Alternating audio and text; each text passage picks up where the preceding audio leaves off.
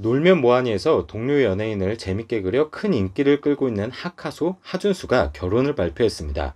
결혼 상대는 동료 개그우먼이자 웹툰 작가 안가연. 하준수의 결혼 발표에 많은 이들의 축하와 응원이 이어지고 있는 가운데 하준수가 8년 사귄 전 여자친구의 폭로글이 올라왔습니다. 폭로의 내용은 하준수가 바람을 폈다. 중요한 부분을 살펴보자면 8년간 개그맨 하준수와 연애, 동거, 결혼 약속까지 했던 사람이다. 헤어지기 전부터 하준수는 안가연 작가와 바람을 피우고 있었다. 저 사람들은 내가 잘못해서 자기들이 바람을 피웠다며 끝까지 제대로 된 사과 한마디 없다. 하준수와 안가연은 서로 만나게 된 이유와 배경에 대해 거짓말하며 당당하게 2년째 연애 중이라는 기만하는 모습에 화가 난다. 그러면서 전 여친은 연애 시절 하준수와 함께 찍었던 사진도 올리고 연인 시절 찍어둔 웨딩 사진을 폭로글과 첨부하며 유방암 재발후 항암을 할 수도 있다는 담당 교수님 말에 머리 기르려면 오래 걸리니 웨딩 사진이라도 찍어 놓은 것. 저는 암이 큰 죄인 것 마냥 살았었다. 여기에 쐐기를 박는 글이 하나 더 올라옵니다. 전 여친의 동생은 하준수가 180 벌어오는 거로 생활이 턱도 없어서 우리 엄마가 매달 300씩 생활비도 보냈었다.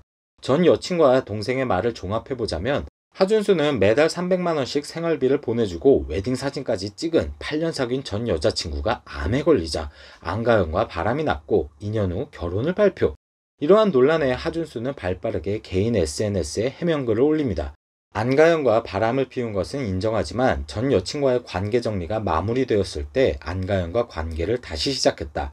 전 여친은 제가 가연이와 결혼을 한다고 하더라도 진심으로 축하해 줄 수 있다는 이야기를 자신에게 분명하게 밝혔다.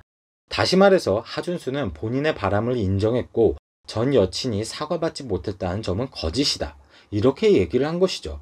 일단 사건은 끝났습니다. 왜냐고요? 하준수가 바람을 펴서 안가연을 만난 것을 하준수 본인 입으로 실토했기 때문이죠.